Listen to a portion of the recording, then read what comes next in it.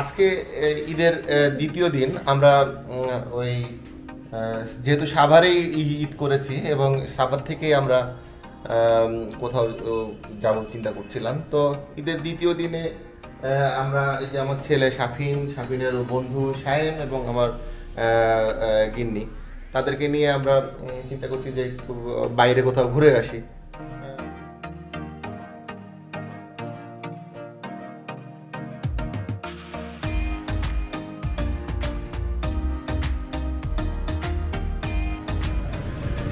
আমরা এখন ওই যে দিয়াবাড়ি সংলগ্ন যে বিরুলিয়া ব্রিজ, এই বিরুলিয়া ব্রিজের কাছে এসেছি। আজকে ওয়েদারটা কিন্তু অনেক ফেভারেবল গতকালকে এবং এই কয়দিনের যে গরম ছিল সেটা এখন অনেকটা আকাশ অনেক পরিচ্ছন্ন আছে। অনেক ভালো লাগছে এই সময়টাতে আর কি। এবং যদি ভুল না করি তো ফোটা ফোঁটা বৃষ্টির শুরু হয়েছে বলে মনে হচ্ছে আর কি। তো দেখি একটা ভালো জায়গা খুঁজে কোথাও দাঁড়াবো এবং চেষ্টা করব ওইদিকে যে দিয়াবাড়ি এই দিয়াবাড়ির দিকে যাওয়ার জন্য। সাভার থেকে আসার পথেই এই তো দিয়াবাড়িতে ঢোকার মুখে আমরা বলে ওটাকে বৃষ্টিতে আটকা পড়ছি আর কি, এই জন্য একটা শেডের নিচে আমরা অপেক্ষা করছি। পিছনে আমরা দিয়াবাড়ির গাড়িগুলো দেখতে পাচ্ছি। বৃষ্টি কমলে আমরা আবার মুখ করব দিয়াবাড়ির যে প্লেসটাতে সবাই গ্যাদারিং করে ব্রিজের পাশে।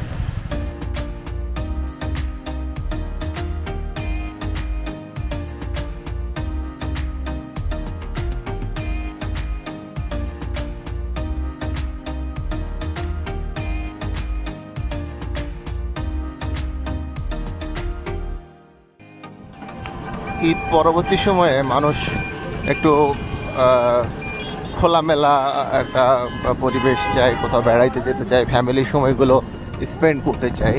দিয়াবাড়ি হতে পারে তাদের জন্য একটা উত্তম জায়গা। লেক পাড়ে মেলার পরিবেশ বিরাজ করছে। নৌকা, আমরা যাব ওইদিকে অবশ্য নৌকা থেকে শুরু করে আর কি আমরা একটু ভয় পাচ্ছি যে বৃষ্টি যেন প্রতিবন্ধকতা সৃষ্টি না করে। এই পারে অনেক লোকজন রয়েছে। এই যে।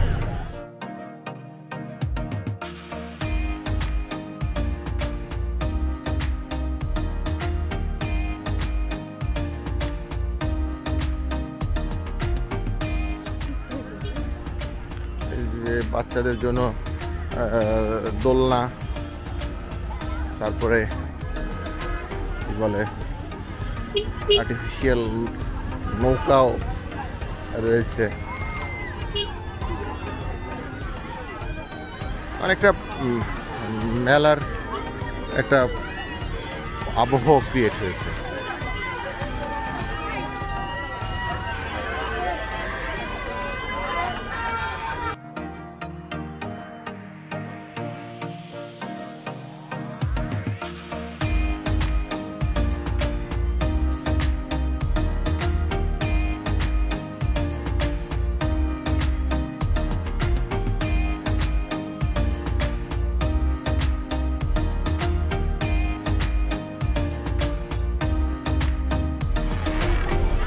যে গ্রামের যে মেলা টেলাগুলো দেখা যায় তার যে থিমগুলো এইভাবে করছে। ওই যে নৌকা এবং এই যে দিয়াবাড়ি বিনোদনের জন্য ফ্রি বিনোদনের জন্য একটা ভালো জায়গায় মনে হচ্ছে। সবুজও রয়েছে। আমার প্রত্যেকটা ভিডিওতে আমি সবুজের কথা বলি। আমরা কংক্রিটের মধ্যে থেকে থেকে এই সবুজগুলো আসলে খুব ফিল করি খুব প্রয়োজন অনুভব করি। তো এই যে একটা সাবস্ক্রাইবার জন্য এসেছে একটা আসসালামু আমার আইডির নাম হচ্ছে ভার্চুয়াল এক্সপ্লোর ভার্চুয়াল এক্সপ্লোর বাচ্চারা অনেক স্মার্ট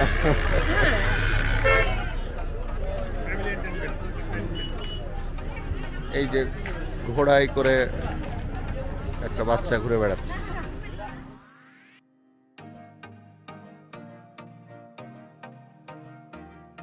ওই যে দেখছেন চটপটির দোকান, ফুচকা, চটপটি হালিম পাওয়া যায়।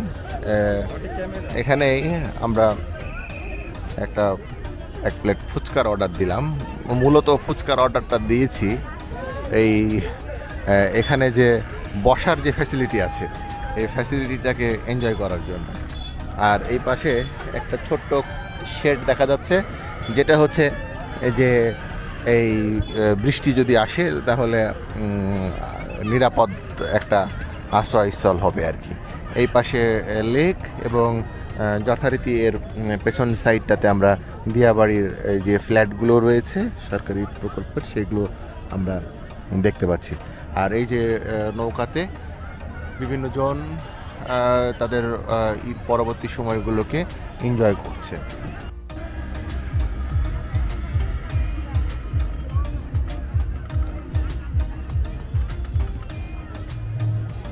কেমন লাগছে? খুব ঝাল কিন্তু অনেক মজা। তো দিয়াবাড়ি প্লেসটা আসলে সাভারের কাছে হওয়ার কারণে উন্মুক্ত স্থানগুলোর অন্যতম একটা জায়গা খুব ভালো একটা জায়গা আমরা পেয়েছি। তো তোমার দিয়াবাড়ি কেমন লাগছে? ভালো লাগছে সুন্দর লাগছে। এর আগেও আমি আসছি। সময় কাটানোর জন্য আচ্ছা। ঈদের পরের এই সময়টা আমরা আজকে পার করলাম দিয়াবাড়িতে। আমরা অপেক্ষা করছিলাম যে আরও কিছুক্ষণ সময় থাকব, কিন্তু আকাশের অবস্থা খুব বেশি ভালো পাচ্ছিলাম না। আমাদেরকে চলে যেতে হবে। তো যাওয়ার আগে সেই কথাটা বলতে চাই যে আসলে শখ থেকে এই চ্যানেলটা আমরা করে যা, করেছি শখ পূরণের জন্য আসলে। যদি আমাদের চ্যানেলকে আপনাদের ভালো লেগে থাকে, তাহলে যথারীতি লাইক, শেয়ার এবং সাবস্ক্রাইব করে পাশে থাকবেন। ততদিন পর্যন্ত ভালো থাকেন, সুস্থ থাকেন। সবাইকে আসসালামু আলাইকুম।